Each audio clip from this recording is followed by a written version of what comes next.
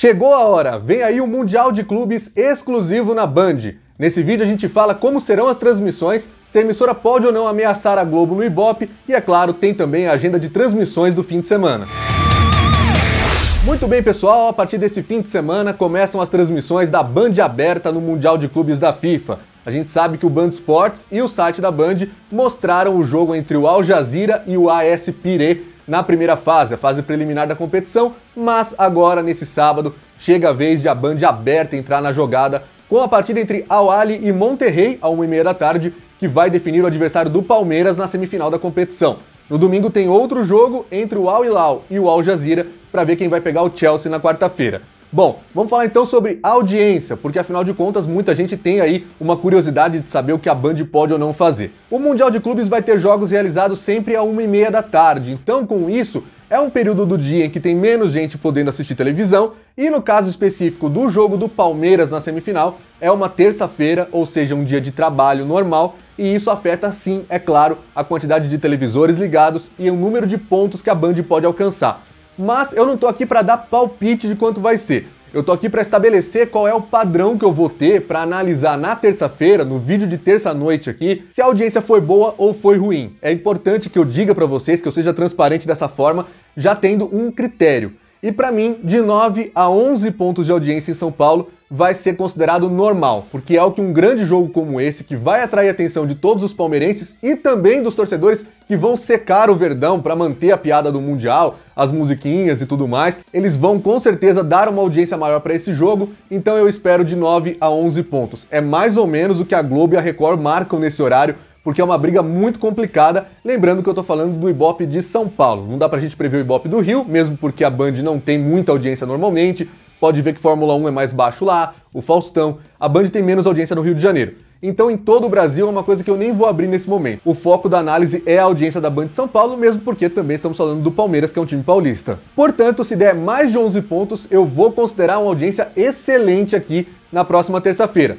Agora, se der abaixo de 9 pontos de média, com certeza vai ter sido uma frustração, embora uma frustração não tão cara assim, né? Porque segundo informações do Rodrigo Matos, que eu pude confirmar, a Band está pagando um pouquinho mais de um milhão de dólares para transmitir o torneio e a Globo só ofereceu até 800, 900, né? Por 200 mil dólares ela perdeu a competição. Faz as contas aí, dá um pouquinho mais de 5,3 milhões de reais pela competição inteira. Claro, são mais jogos, mas se contar só o Palmeiras, que é o foco das transmissões, cada jogo está saindo ali por quase 3 milhões de reais que é basicamente o que a Globo paga no Brasileirão por jogo de TV aberta e que a Record paga no Paulistão também. Então a gente sabe que em termos comerciais o Mundial de Clubes não anda muito valorizado não. Imagino que se fosse o Barcelona de Guayaquil representando a Comebol, por exemplo, talvez ninguém quisesse comprar e a gente teria que assistir, sei lá, no canal do YouTube da FIFA. O segundo ponto importantíssimo para você entender como serão as transmissões do Mundial de Clubes é que se você trabalha e não vai poder acompanhar pela televisão, vai ter sim transmissão gratuita, assim como houve no jogo de abertura. Todos os jogos, à exceção da disputa do quinto lugar, que é um jogo bizarro que rola, que só o Band Esportes vai mostrar,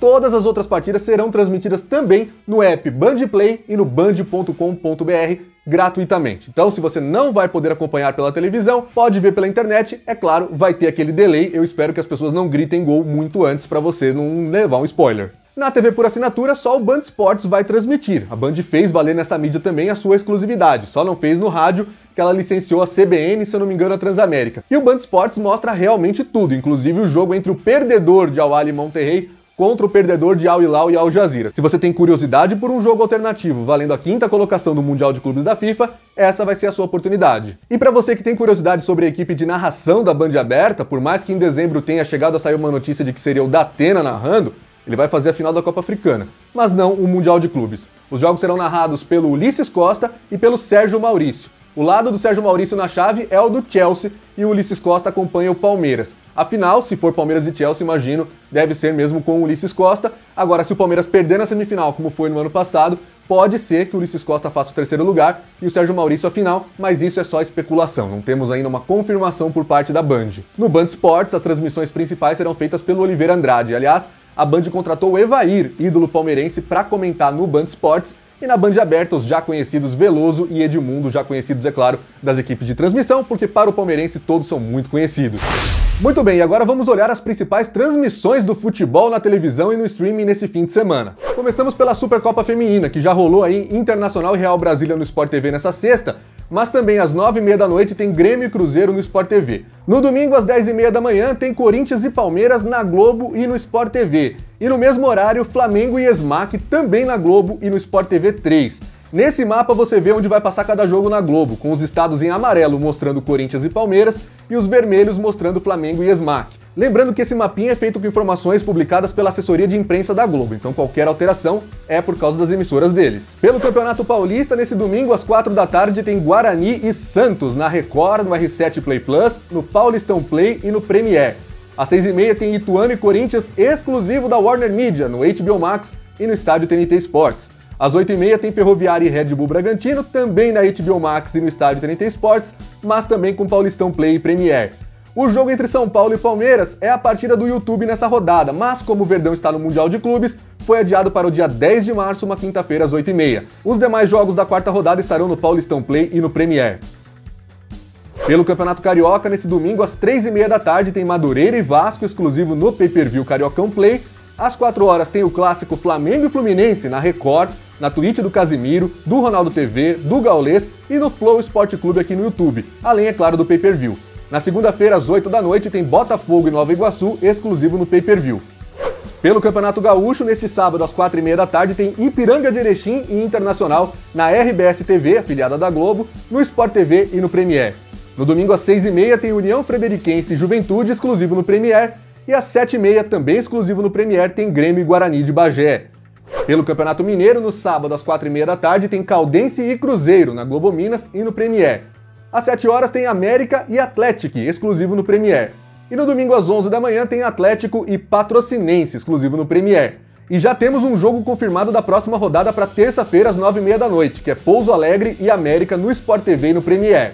Todos os demais jogos da quarta rodada estão no futebolmineiro.tv.br de graça.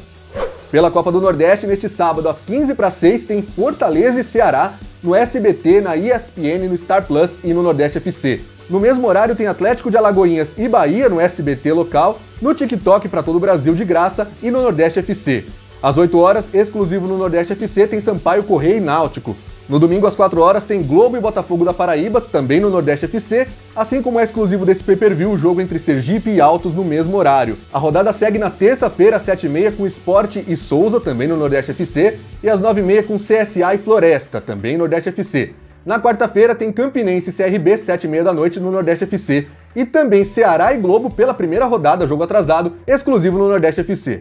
Pelo Campeonato Pernambucano, no sábado, às 4h30 da tarde, tem Esporte e Vera Cruz na Globo Nordeste no Premier. No domingo, às 4 da tarde, tem Santa Cruz e Ibis, exclusivo no Premier. E na terça, às 7 horas, tem Náutico e Retrô no Sport TV e no Premier. Pelo Campeonato Goiano, neste sábado, às 4h30, tem Vila Nova e Atlético Goianiense, clássico que a TV Anhanguera, afiliada da Globo, vai mostrar. No mesmo dia e horário tem Havaí e Próspera, pela NSC TV, também afiliada da Globo. E no Mato Grosso, a TV Centro América mostra também no sábado às 4h30, Operário e Cuiabá.